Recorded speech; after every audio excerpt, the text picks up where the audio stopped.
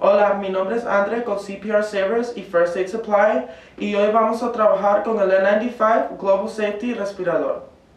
Este respirador estilo de taza es un respirador pegable que cabe en un bolsillo o bolso. Esta máscara se utiliza para reducir la exposición a los gérmenes aerotransportados. Los respiradores están dimensionados para adultos y no pueden formar un ajuste adecuado en los niños. Cualquier cosa que se interponga entre el respirador y la cara, como el vello facial, pueden interferir con su ajuste. Las personas con enfermedades del corazón o pulmón pueden tener problemas para respirar a través de un respirador y deben de consultar con médico antes de usar uno. Los, respiradores deben de, deben de ser usados una vez y desechables después de su uso.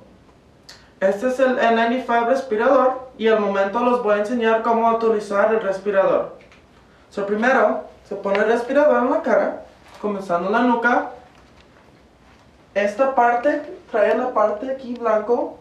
Se puede ajustar para poner qué pegado se va a poner en la cara.